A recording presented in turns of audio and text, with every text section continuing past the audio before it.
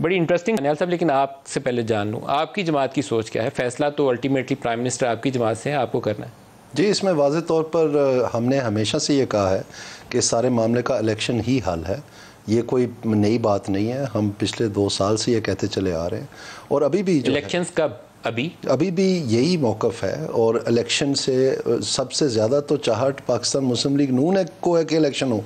उसकी वजह यह है कि हमारी जो माजी की कारकर्दगी है और जो इन्होंने माशाल्लाह तमाशा लगाया है पाकिस्तान की मीशत का पी टी आई वालों ने वही तो सारा कुछ अवाम जो उबल रही है ये बात सुनने के लिए कि कैसे ठीक होगा कैसे आगे उम्मीदें तो सारा नून लीग के साथ वाबस्ता है। तो इन्होंने तो जो इन्होंने तो जो तबाही करनी थी वो तो कर दिखा आप चाहेंगे कि अभी समझियाँ तोड़ी जाए?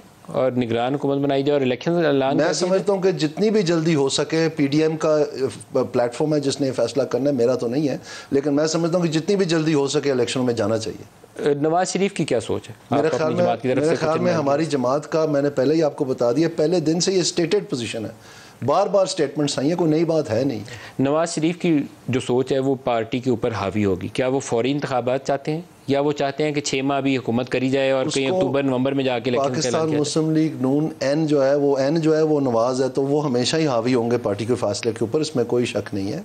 आप दुरुस्त फरमा रहे हैं वो रहबर हैं हर तरीके से वो हम पार्टी में तो वो फौरी चाहते हैं निगरान सेटअप? बहुत मैंने आपको बार बार ये बात कही है कि जो जितनी जल्दी हो सके अब उसको लव फौरी कर लें उसको लव लव बड़ी खबर है जो भी आप कर लें हम तो पहले दिन से कहते रहे शायद मतलब खाकान ऑन रिकॉर्ड है आपके तमाम लीडरशिप ख्वाजा आसिफ साहब ऑन रिकॉर्ड है सब ऑन रिकॉर्ड पार्लियामेंट की स्पीचेस हैं जिसमें हमने कहा कि आप शबाज साहब खुद हैं आपकी जमात से सबसे ज़्यादा क्लैरिटी इस मसले के ऊपर शायद खाकान अब्बासी में थी। शायद खाकान अब्बासी की सोच ये थी कि या तो इमीडिएटली रिफॉर्म कर लें तो फिर साल सवा साल हुकूमत करें फिर आप इलेक्शन में नहीं जा सकते। तो या फ़ौरन आप इलेक्शन का ऐलान करें और इलेक्शन में चले जाएँ ताकि ये एडजस्टमेंट हो जाए हम इस एडजस्टमेंट को पोस्टपोन नहीं कर सकते। जिसमें इसमें बहुत वज़न है इस बात में। उनकी लॉजिक में वज़न है? नहीं उसकी वजह ये है, उसकी वजह ये है कि जो ये गंदगी का टोकरा जो पीटीआई ने इकट्ठा किया है, पाकिस्तान के ऊपर जो फेंका है फेंका है, ये इसकी ज़िम्मेदारी पीटीआई लेना जी।